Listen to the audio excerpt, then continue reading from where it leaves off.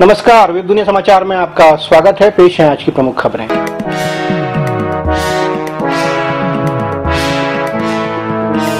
दुनिया का सबसे बड़ा टैक्स खुलासा अमिताभ समेत कई दिग्गज लपेटे में टैक्स स्वर्ग कहे जाने वाले देश पनामा की कानूनी फर्म मोसेगा फंसेका के खुफिया दस्तावेज़ लीक होने से दुनिया भर के कई दिग्गज नेता, कारोबारी और सेलिब्रिटीज बेनकाब हो गए हैं। यह दुनिया के सबसे बड़े खुलासों में से एक बताया जा रहा है। फोनसेका के 1977 से लेकर 2015 तक के करीब एक दशमलव एक शून्य करोड़ दस्तावेज़ लीक हुए हैं। इनसे पता चला है कि वहाँ 500 से ज़्यादा भारतीयों के खाते हैं। इनमें अमिताभ बच्चन, उनकी बहू ऐश्वर्या राय बच्चन, डीएलएफ के मालिक केपी सिंह, गौतम अडानी के बड़े भाई विनोद अडानी के नाम शामिल हैं। रूसी राष्ट्रपति व्लादिमीर पुतिन के करीबियों पाकिस्तान के प्रधानमंत्री नवाज़ शरीफ, मिस्र के पूर्व राष्ट्रपति होस्नी मुबारक, सीरियाई राष्ट्रपति बशर अल असद चीन के राष्ट्रपति शी जिनपिंग, पाकिस्तान की पूर्व प्रधानमंत्री स्वर्गीय बेनजीर भुट्टो ने अपनी संपत्ति को छिपाने के लिए टैक्स वर्ग की मदद ली थी। फ़िलहाल इस बात की जाँच जारी है कि खातों में जमा पैसा काला धन है या नहीं।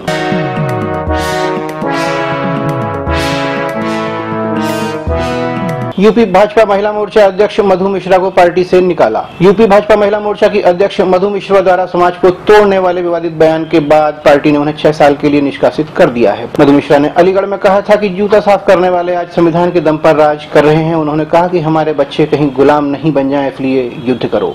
प्रदेश भाजपा नेतृत्व ने उनके बयान को गंभीरता से लेते हुए उन्हें तत्काल पार्टी से निष्कासित कर दिया। हालाँकि विवाद बढ़ने पर मधु ने एक टीवी चैनल से बातचीत के दौरान माफ़ी मांग ली है और कहा कि उनकी बातों का गलत आशय निकाला जा रहा है।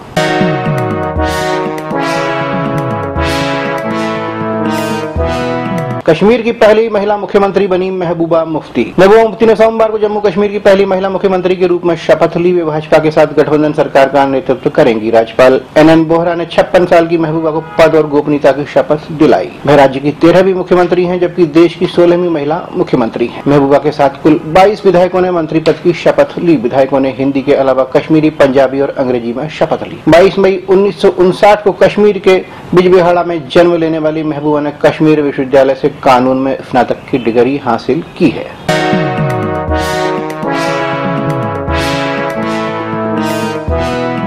राहुल राज सिंह ने दिया था प्रत्युषा बनर्जी को धोखा, दोस्तों का खुलासा।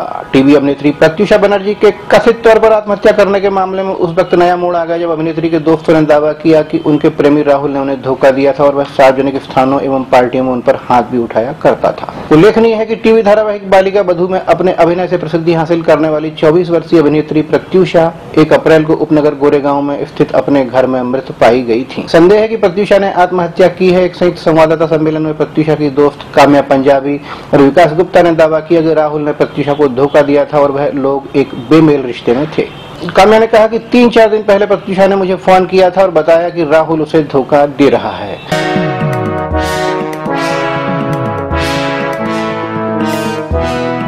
इस्लामिक स्टेट ने अपने ही पंद्रह सदस्यों का सिर कलम किया।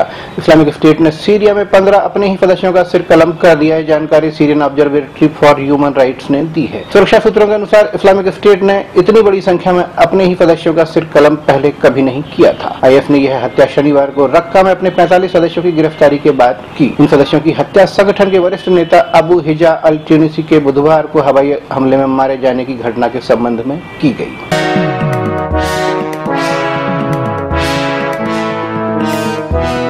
ये थे अब तक के मुख्य समाचार और ज़्यादा जानकारी के लिए लॉगिन कीजिए हमारी वेबसाइट डब्ल्यू